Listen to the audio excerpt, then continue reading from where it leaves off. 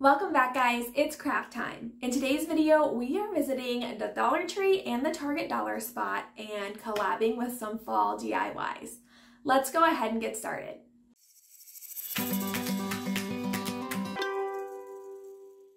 So I went to my local Dollar Tree and to the Target Dollar Spot over these past couple weeks and collected a few items that I wanted to now share with you a few simple DIYs that you can do to help decorate for fall. We're gonna start out with these little ceramic pumpkins and this really cute ceramic owl that I picked up from the Dollar Tree. I'm gonna show you three different ways to do very simple, easy um, paint and like distresses on them that will completely take them to the next level without having to put in a ton of effort, especially if you need a quick turnaround. We're gonna start with the first and that is with the owl and we're gonna be painting it with a moss colored um, from the Waverly chalk paint. It's a really pretty green. I think it fits in really well with the fall vibe. And I'm just going to do a good solid coat all over the entire owl. For this, I'm just kind of making sure I get in all of those grooves. Um, take your time. This is, like I said, you're just painting it, nothing too crazy. And then we're gonna let it dry. We're going to just distress it back. This owl has so many beautiful details on it and we wanna make those pop. So you can do this with a wet rag, a wet paper towel, or a baby wipe.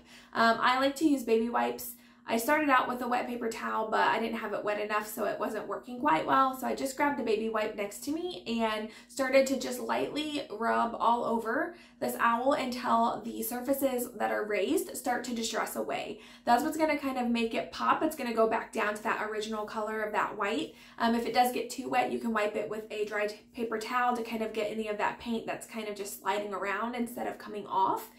And then after that, you want to seal it, especially if you use a chalk paint. Um, if you didn't, then you might not have to worry about this step, but the chalk paint definitely works best for this technique.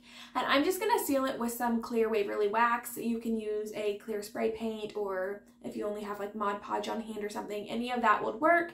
But I'm gonna use the clear wax. All you do is basically paint it on and then lightly wipe it all off, any of the excess, and then you are done that's the first look. I think he's super cute. I haven't seen these owls there before. I know they've had some different ones in the past, but I absolutely love this one and think he was a very easy, cute touch.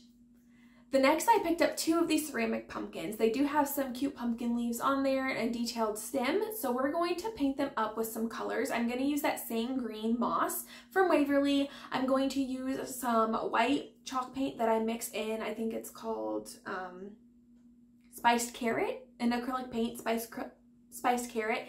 I'm just going to mix that in and add just a little bit of red to get the color that I want. The reason I'm doing this is because the chalk paint's going to adhere to the ceramic really well. So I want to make sure I keep that texture. So I'm just mixing up my own color for the actual pumpkin and then I'm going to be using the color, I believe, Truffle from Waverly as well, again in a chalk paint. So I'm just going to work on painting both of these pumpkins up and I'm going to show you how you can get two different looks depending on what you're going for. Once these are nice and dry, I'm going to just be using some more wax. Um, I'm using the Waverly. You can use any of the waxes that they have and this works just fine.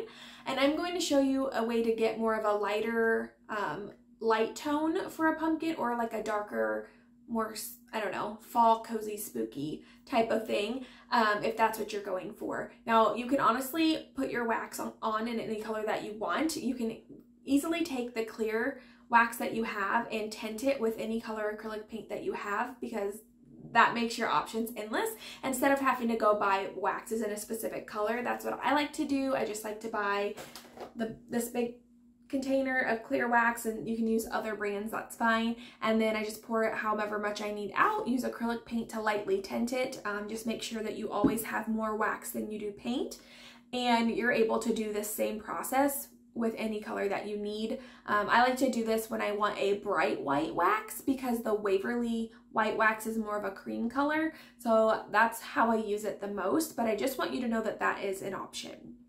I do happen to have the two colors that I need in the actual um, bottles that they came in that I did not pre-mix and that's what I'm going to use. For the first one, I'm using the Waverly White Wax. Again, it comes in more of like a creamy color, and that's kind of what I'm going for with this one the same process. You're gonna just paint it all on and then you're gonna take a paper towel and you can either dab or wipe off the excess. I kind of like to do both depending because if you wipe too hard, you might take some of that paint off from underneath, depending on how long you've let it sit. Um, the longer you let it sit, so I like to do this before it fully dries, but if you want more of the wax to stay on in a heavy wax look, just let your wax dry a little bit longer and less will come off whenever you wipe. So again, I like to dab and wipe and I just get it down to how I want it to look. Now this is kind of a reverse process. You're gonna get all of that wax down into those grooves and it's gonna stay there and then as you wipe those raised surfaces, the wax will come off of those parts. So that's where more of the color will pop through and the details are gonna pop from the wax being in the crevices. Whereas with the last one, you know, we put the paint in the crevices and then wiped the paint away from the raised surfaces.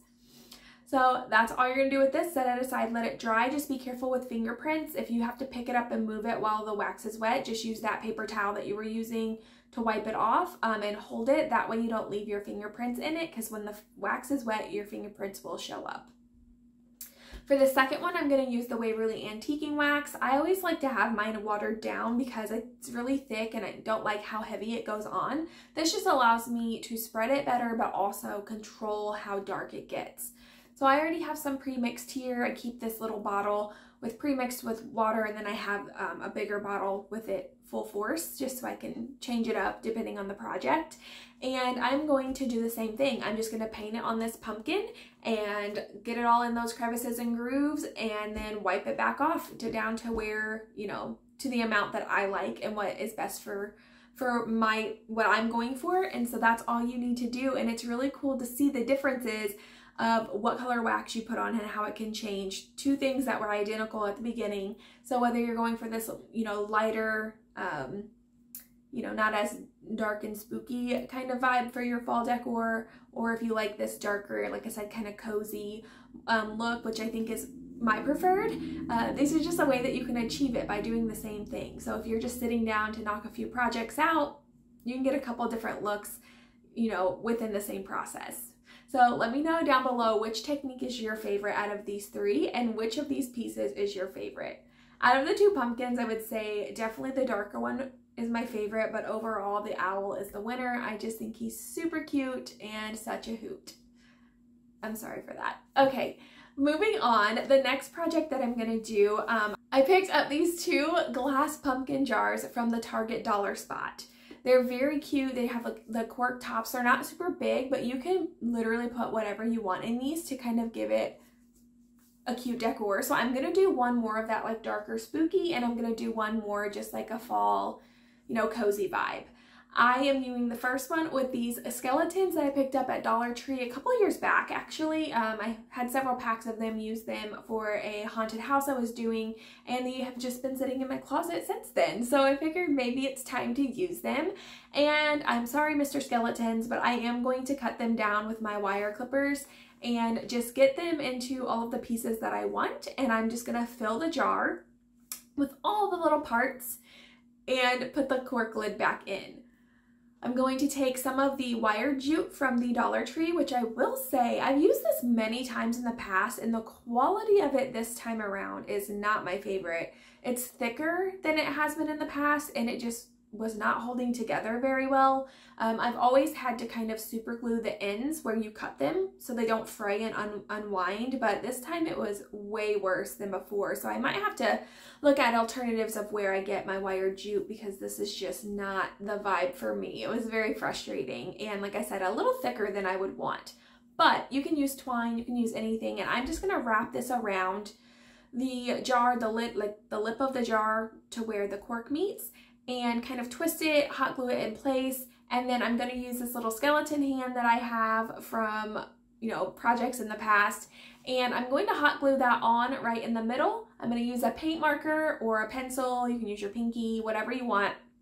Um, and I'm going to wrap the wire jute around and it's going to give them fun little curls and they'll stay in place because it is wired. Now just keep in mind the thicker you know, marker or whatever it is you're using, the, the bigger the loops. So if you wanted small, more coily loops, just use something smaller to wrap it around. And that is it for the first jar. I think it's super cute. I love all of the little pieces in there. And again, I apologize to the little skeletons, but I think it turned out really well. The next one, I'm just gonna use some of these like berry branches that I've had for a while that I haven't really put to good use.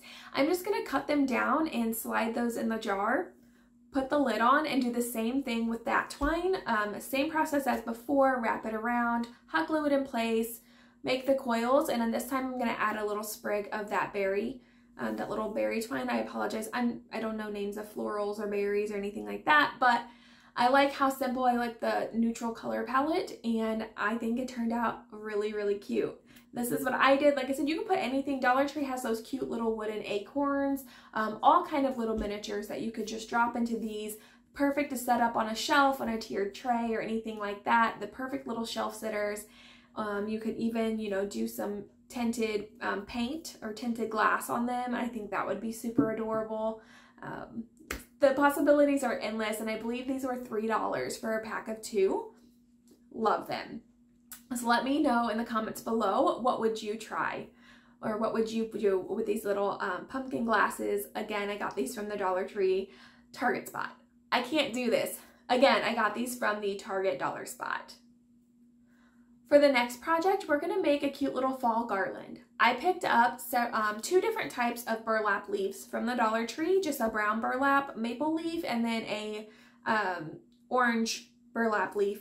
I don't know what kind of leaf this is, but I picked up those. I have a bunch of ribbon already in my stash from Dollar Tree and other places for whenever it goes on sale. I like to pick them up. That way I have it whenever I need it. I'm also going to be using um, just some jute from the Dollar Tree. It's just like the, the brown jute that they have there. And I'm going to use that for my string. I just kind of went, I do have a fireplace in my house, so I kind of went and just strung it out to see how long I wanted it to be to fit my space. If you aren't sure, I feel like a good measurement would be like whatever your wingspan is. I'm short though, so maybe don't I don't know. It works for me. Um, and maybe just make that a little bit longer because you could always cut the sides down to fit, but what you don't want to do is make it too short to where it doesn't fit your area. And then I just folded that string in half, found my center point and laid it down. That way I could start in the middle to make sure everything is even on the way out. And again, that way I have extra string on both sides that you can tie off and tuck away or cut down after you figure out which space you need it in. So I'm going to start with one of the brown maple leaves and I'm just going to find a good spot. I'm not going to do it at the tip. I just pulled that little wire backing off and I'm going to do it kind of about an inch down. That way I don't have to worry about the leaf trying to spin or flip up on me. So I'm just going to do one thing of glue. Be mindful that it is burlap so the glue can go through the front. So I'm trying not to use an excess amount. Um, I just put the twine back down over it. I'm using my little silicone finger that you can also get from the Dollar Tree to push that twine into it. That way it was adhered and then I immediately pick it up off the table so that if any glue went through the front, it is not going to get glued down to my table. From there, I'm going to be making some little ribbon pieces and I'm using, um, I know that this the fall ribbon came from the Dollar Tree and then I think the green burlap one did too, but I, I'm, I'm not positive. And I'm just going to cut those down to the sizes that I need. So I just kind of got the length that I wanted. And then once I cut all of them out that I that I needed, I went ahead and cut off the wired sides because I want this to be more like a um, whimsical fabric ribbon rather than one that kind of stays in place and holds shape. So I just cut off those edges and I believe, let me count how many I used. I used one, two, three, four of the green. So that means I used eight of the fall. So what I wanted to do is just tie these in between each leaf. So on either side of that center maple leaf, I'm to do two of the fall worded ribbons and one of the green in between. And I'm just to tie those on to where I think they look good and then go on to my next leaf. Now I will say, I don't really know how to explain this in the video, but if you're doing this, you'll kind of understand what's happening. If you tie it a certain way, it'll angle a certain way. So if you don't tie the next one the same way, they kind of like are going wonky kind of, but you just retie it and you'll be okay. And I don't know how to explain it. Um, I'm pretty sure like if the string is laying on the table, if you put the ribbon underneath and then tie it and make sure you're putting, you know, say the right side over the left and then tying down, and you just however you're tying it make sure you're doing it the same way with each one and you won't have that problem it's pretty easy in the moment to say oh that's not working and then redo it but my brain right now looking back doesn't really know how to explain that to you and I apologize but you'll kind of just see it and feel it when you're doing it after the ribbons, next is just that um, orange burlap leaf. Again, I did kind of like an inch down, put that line, pushed it on, and it's that simple. I just repeated that process. I did um, just those two orange ones and then another round of ribbon and then the two burlap leaves at the end to close it off. And it's such a quick and easy way to make a super cute garland that can go across, you know, a table, a fireplace, a, a door entry, a wall, you know, whatever you're kind of setting up. And like I said, quick, easy, cheap. We like all of those things. So let me know what you would put on yours. What colors would you use? Uh, again, I just kind of went with these leaves. I thought they were super cute. Lots of pops of color within it and also kind of neutral at the same time. So I really like that. It screams fall to me. So let me know in the comments below if you like this DIY and what ribbons and colors would you choose. Next, we're going to be making a door hanger slash um, porch sign. So believe it or not, I got this sign at the Target dollar spot. It was $5. This thing stands about three and a half feet tall and it has a hanger in case you, if you don't want to lean it, you can hang it up. That is wonderful. Now I will say it seems like that MDF board stuff, so you do want to be mindful that that's not really made for outdoors. So what we're gonna do is we're gonna take three of these little wooden leaves that we picked up from the Dollar Tree, and I also grabbed an acorn. Now, if you're not able to find this sign or one like it or a piece of scrap wood that you have laying around, that's okay. You can still do this exact same project, but you can just use a piece of twine to connect everything. Um, so don't think that if you don't have a board, that's okay. You can still move forward with this. I'm gonna start by painting the three leaves and the acorn. I'm just going to pick out the different colors that I have. I am using acrylic paint for this. Um, no, nothing special. I just have a lot more color options with my acrylic paints. So I'm just going to start by painting either each of them a base color um, and then using colors that kind of go with that leaf to kind of highlight and give it a lot more detail.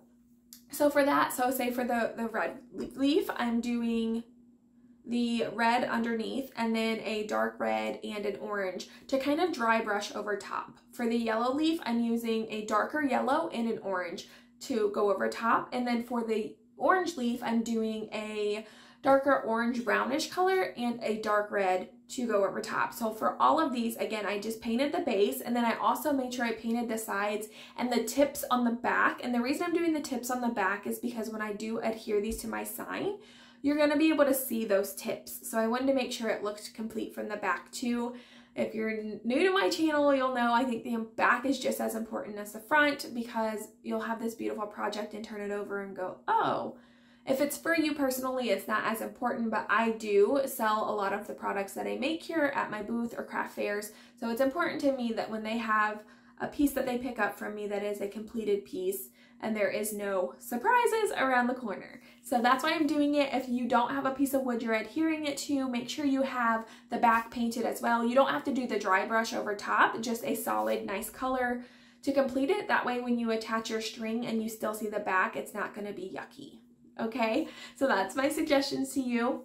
But all I'm gonna do is dip my chip brush, so it's like a, a, harder bristle brush and it leaves lots of fun textures, in both colors and kind of flip it around, get both colors all over the bristles. Tap off any of the excess to where it's not gonna leave heavy streaks and just lightly with the tip of the brush, brush that in each direction um, so I'm following the leaves and brush that all over the leaves until it's blended and looks the way that I want it to. Um, I went pretty heavy on this. I want that background color to kind of um, show through, but with those other colors kind of taking over just to give it a lot of dimension, a lot of color, because most of the fall leaves that you see aren't one solid color. I did this with the acorn as well with the same idea in mind. I did a brown base for it and then I used a darker brown to kind of brush and give it those um, details and like the curves of the acorn. And then for the top, I took that same brown, kind of um, put it on a a harder, like a stencil brush with those same hard bristles. And I just kind of stippled it all over the top to give it that fun texture that you see at the top of an acorn. Then I painted that sign that I picked up from the Target dollar spot. Um, it just says welcome on the front. is very simple, but I wanted to give it a nice dark solid color. So I'm going to be using a dark gray chalk paint, giving it one solid coat. And then from there, after everything is dry, I'm going to seal everything with my polycrylic. Now, polycrylic is not um, waterproof, but it is water resistant. So the reason I'm doing this is because I am making this with the intent of it being used behind a screen door or under a covered porch. However, I like to tag everything, so when I put this into my booth, it will say the tag, the price, whatever, and then the suggested um, indoor covered porch only. People don't always take what I'm trying to tell them um, and they will just put it wherever they want and then be upset that it doesn't hold up to the way they want it to. So this is my attempt at making sure that it's going to hold up and last as long as possible. So I went ahead and took polycrylic and I did the front and the backs of the leaves and the acorn. That way, even when they're attached to the sign, if water runs behind them, they are protected because this really soft wood and the MDF board of the sign are just going to absorb that water and cause problems. So I did the front and the back of each leaf and acorn and around the edges. And I did the same, the front, the back, and all of the edges of that sign that I picked up from the dollar Target spot.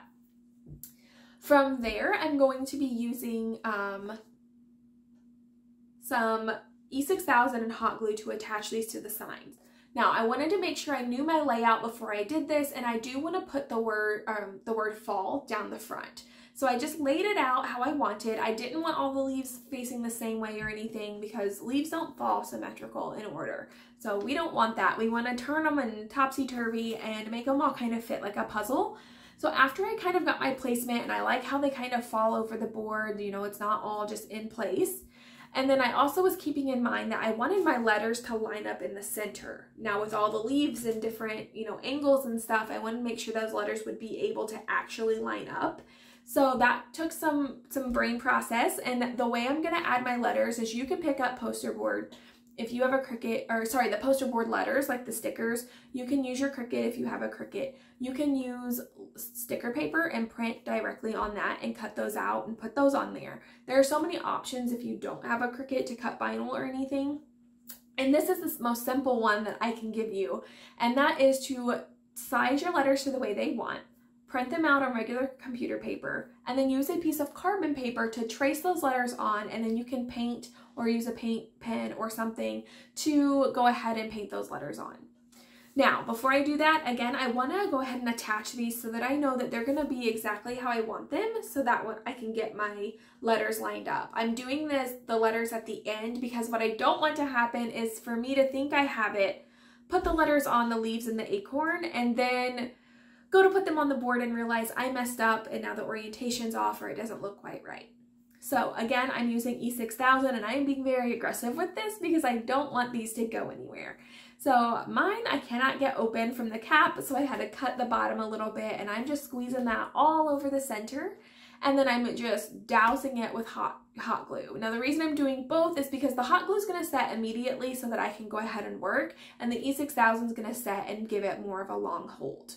So I'm just doing that and as I'm going, because it is like a soft wood, um, it's slightly, I wouldn't say bent, but um, slightly warped. So I'm just using some heavy paint cans and stuff to keep that in place so I can move on to the next one while it's drying and make sure that that gets really secured to the board. After I get them all in place, I'm again, I'm gonna take the words that I um, took off of my computer. I just typed it out. No, I didn't misspell the word fall. I just didn't want to have to print a second page for a fourth letter that is a repeat letter. That's a waste of resources and I'm not going to do that. So I just put out the letters that I needed and um, kind of sized them on my computer. I did print two different sizes because I wasn't sure what would actually look good once I got it back into my craft room. I picked which one worked best. Um, if you're curious about this font, it's called A as in the letter A calling and I'm pretty sure I got this off of dafont.com. If you don't know about that, it's a website where you can get free fonts for your personal use and they have thousands. So you can spend some time there, but this is one of my favorite fonts that I have. Um, yeah, I don't know. I use it all the time. So I'm just going to, again, cut them those letters down, tape them in place where, where they're needed, lift it, put that carbon paper, the dark side down, use a pencil and just trace those letters. And what it's gonna do is it's gonna transfer that letter on there for me so I know where to paint. So again, you can use markers, you can use paint, you can use paint pens, whatever you have on hand and color in those letters. I did this for all four of them and then I'm going to use that same gray from the background and I'm going to paint them in. Now, this is kind of dark on dark for some of these and I want to make them pop. So I'm just going to use some white acrylic paint and I'm going to trace each of these letters. If you don't have a steady hand, it might be easier for you to use a paint pen. Excuse me. However, um, my tip for you is to use a small detailed brush, which means it just has a really thin um, brist like tip for the bristles. Let me just show you the one I used.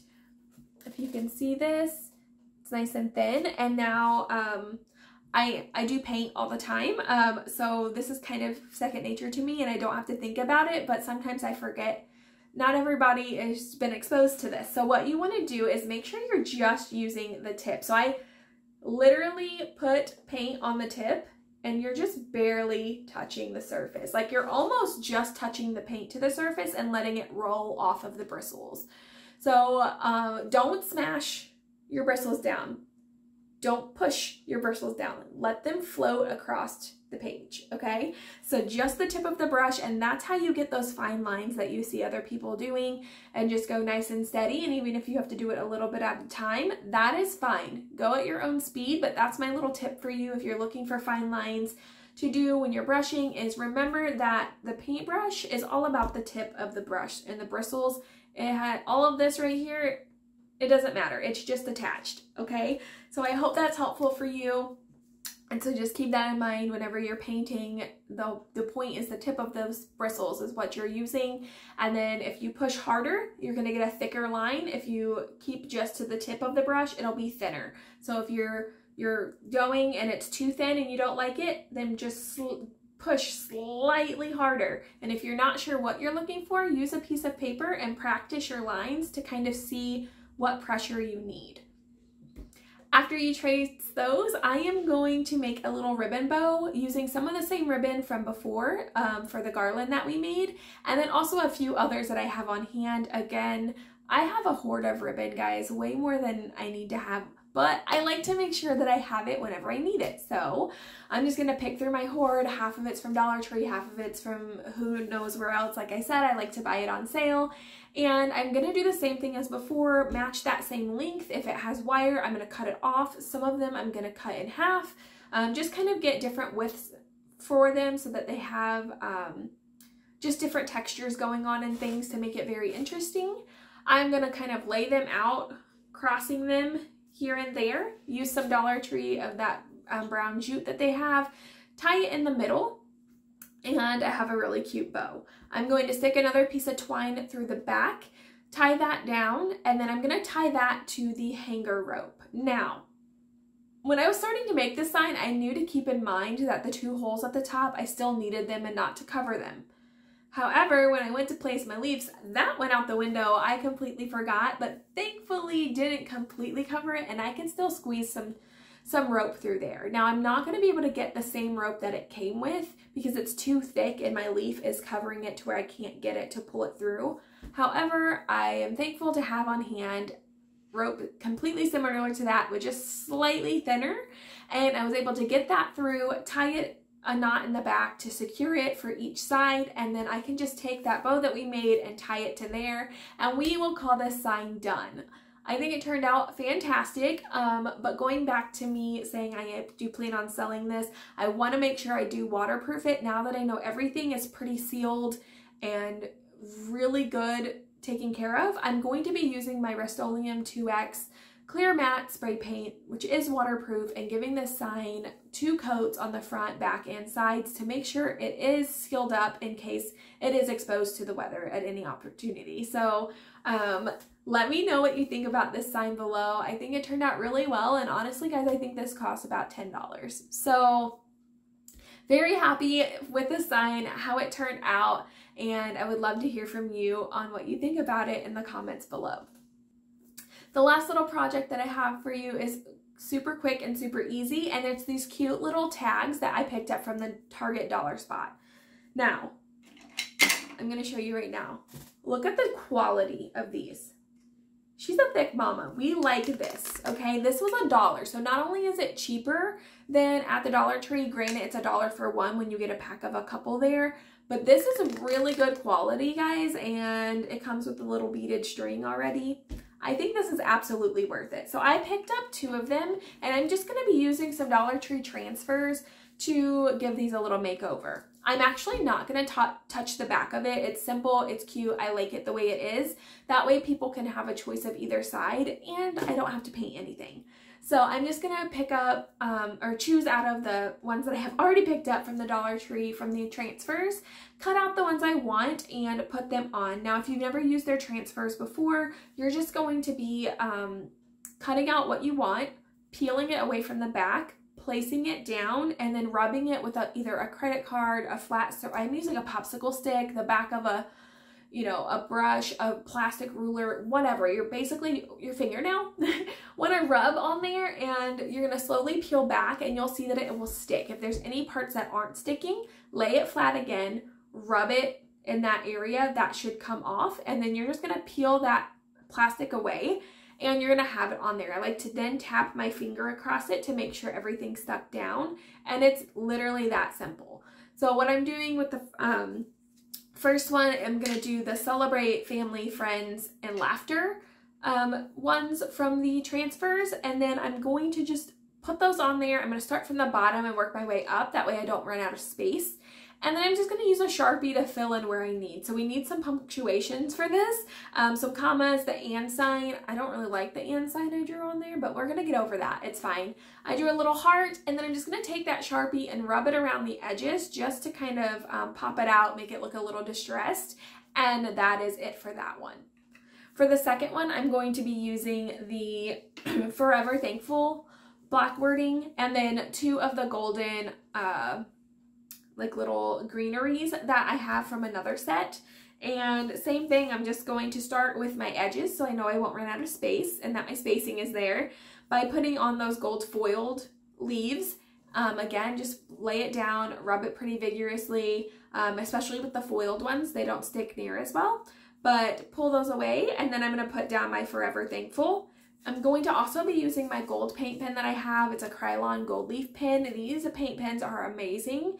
Um, I will say it's not showing up great in this video, so maybe don't judge it off of this one because mine is been put to use. So it's kind of drying out a bit. I do need to order new, but if you want a pure gold, beautiful paint pen, I have it in gold, rose gold, and silver, and they are my absolute favorite. They're a little pricey, but I do have them linked in my affiliate links below because they are next level. They give you beautiful, beautiful um, projects and I couldn't say enough about them. I'm not sponsored by them at all. I just love their paint pens. So I digress.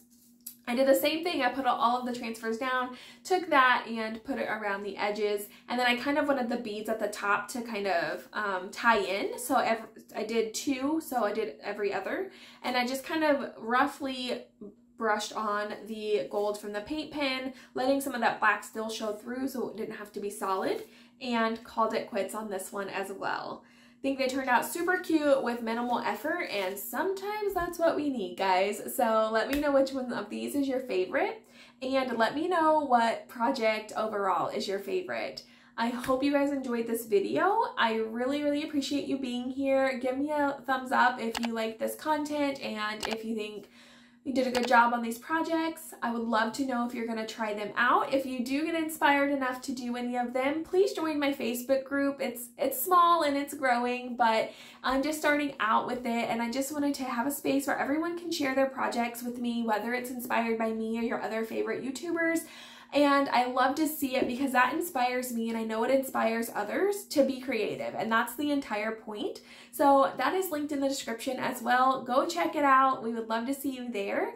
If you're new, consider subscribing to my channel. We would love to have you join us on our crafting journey. If you're returning, thank you so much. I love that you're continuing to support me and be here for me. I'm going to take you guys in for a closer look, and I'll see you next time.